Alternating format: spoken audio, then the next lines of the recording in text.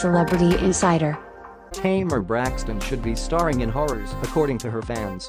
As you all know, she's currently in the CBB house, and a recent video has her fans excited and laughing their hearts out.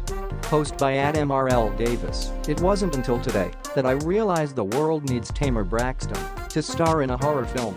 Can you imagine her in a Scream film the video is captioned?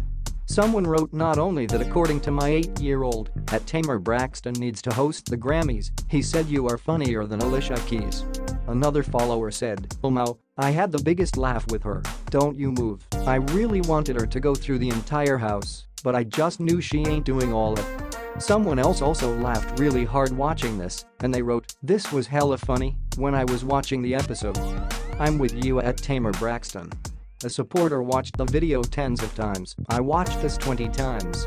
Then 10 more times with my daughter. We laughed so hard. At Tamar Braxton we love you.